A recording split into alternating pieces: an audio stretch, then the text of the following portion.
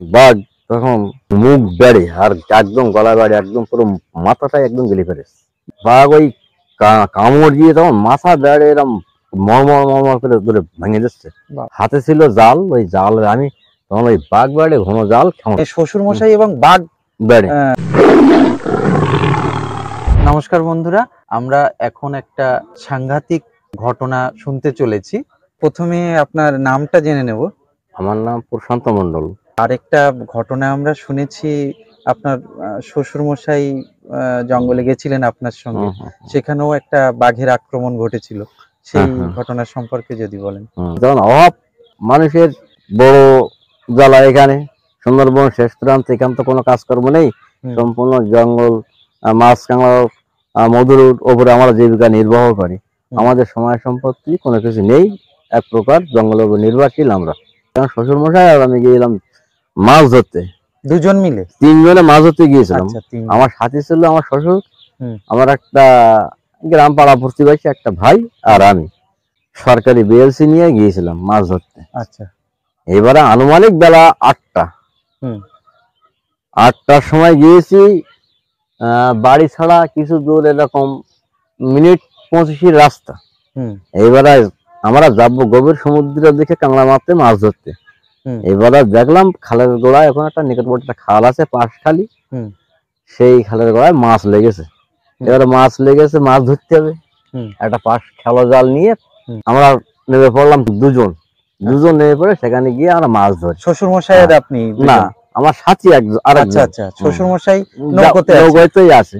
হ্যাঁ। এইবার যখন মাছ ধরি এবার দেখি যখন মাছ পড়ছে খুব একবার জালের খেমন মেরে। তা প্রায় সাতশো আটশো পাঁচশো করে মাছ পড়ছে। এই মারতে মারতে মারতে মারতে তখন কিছু দূরে গেলাম। মানে এই এক দেড়শো হাত দূরে গেছি মাছ মারতে। আচ্ছা, এবার আমার শ্বশুর মশাই রাগ দেশ করছে যে তোমার চলে এসো। এভাবে জঙ্গলে আজকে প্রথম দিন বাড়িতে আসছি ভাই মাছ মারতে। এবার শ্বশুর মশাই রাগ দেশ করছে গালাগাল দিচ্ছে যে তোমরা এভাবে যেও না। দুজন ফিরে এসো। এইবার আহ শ্বশুর মশাই না পেরে নৌকোর থেকে লোক নেমেছে। এবার আমি তখন আর কি করি তখন আর জাল টাল ধুয়ে। আর আমার পাশে যে লোক মাছ খুঁড়ছে ও লোকের বললাম তুমি হাঁড়িতে মাছ মাছগুলো ধুয়ে নাও। আর আমি জাল ধুয়ে নিচ্ছি জাল টাল ধুয়ে নে তখন আমার ওই জালটা আহ ঝেড়ে পরিষ্কার করে নিয়ে নিলাম হাতে গুলি নিলাম। আচ্ছা। এর মধ্যে দেখি ঝটপট ঝটপট করে বাঘ আসতেছে। সেই বেভর্ষ দৃশ্য বেভাবে একটা দৃশ্য দেখি ছুটে বাঘ চলে আসতেছে। এবার আমি বলি এই যে বাঘ এসেছে তখন বাঘ যখন এসে গেছে তখন আমি বলি বাবা বাঘ এসেছে যে বিশাল বড় বাঘ। এইবার তখন বাঘ যখন আসতেছে তখন ওগুলো তখন বলছে তখন বলছে এই বলে তখন দাবার দিচ্ছে।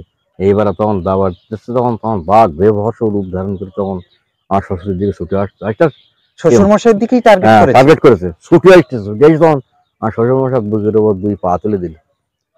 দুই পা তুলে দিয়ে ওলোকের একদম চেত করে ফেলিয়ে চেত করে ফেলিয়ে তখন বাঘ তখন একদম মুখ বেড়ে আর একদম গলা বেড়ে একদম পুরো মাথাটা একদম গেলে ইস, গালে গেলে ফেলেছে গেলে ফেলে তখন ধরে বাঘ ওই ওলোকে যখন ধরে ফেলে বাঘ যখন ধরে ফেলল তখন মানে বাঘ ওই কামড় দিয়ে তখন মাথা বেড়ে এরম মরমর মরমর করে ধরে ভেঙে দিচ্ছে। বাবা।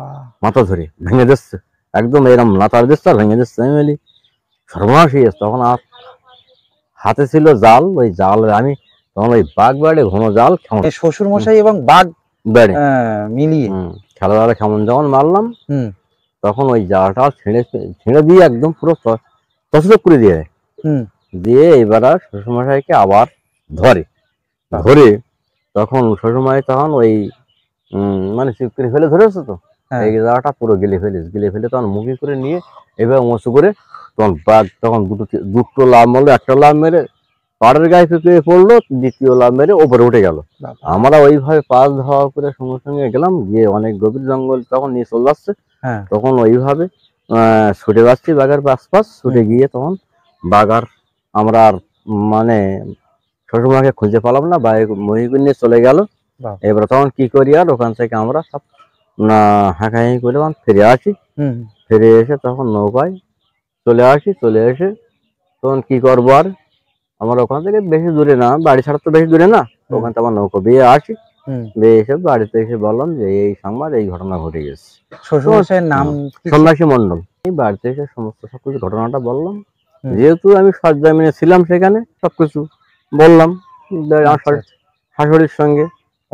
শাশুড়ি মার সঙ্গে বললাম সুমন্ধুদের সঙ্গে বললাম যে এই ঘটনা ঘটে গেছে এই ঘটনা ঘটে গেছে এইভাবে হলো। বাড়িতে এসে বিশাল কান্নাকাটি অবস্থা। তখন আর কীভাবে সামাল দেবো এইভাবে মানে পরবর্তীকালে ওনার লাশ আর খুঁজে পাওয়া যায়নি? পরবর্তী লাভ আমরা পাশের লোক সরকারি লোক। লোক তো পাশের লোক মানে সরকারি লোক। পরবর্তীতে হবে সুন্দরবন ফরেস্টার ডিপার্টমেন্ট থেকে আবার গেলাম। গিয়ে ওদের যে একটা সরকারিভাবে একটা পয়সা দেয়। একটা জনতা ইন্স্যুরেন্স করা ছিল লোকের তার থেকে পনেরো হাজার টাকা দেয় ফরেস্টার ডিপার্টমেন্ট থেকে সাড়ে সাত হাজার টাকা এক সাহায্যের হাত বাড়ি দেয় সরকারি ভাবে আচ্ছা আচ্ছা। তাই দিয়েছিল। দিয়ে তারপরে গ্রামের লোক থেকে আবার ওই হিন্দু শাস্ত্রে যেমন নিয়ম অনুযায়ী হুম করা ছেলে মেয়ে সবাই মানে লাশ আর খুঁজে পাওয়া যায়নি? না লাশ আর খুঁজে পাওয়া পাওয়া যায়নি। এবার ওই পায়ে সাতটা ফরেস্টাররা নিয়ে আসলো। নিয়ে এসে সঠিক ধরেছে কিনা পাশের লোক সঠিক। ঘটনাটা ঘটেছে কিনা সেটা তদন্ত করে দেখল এটা সঠিক বাস্তবে ঘটনাটা ঘটে গেছে আচ্ছা সঠিকভাবে হয়েছে।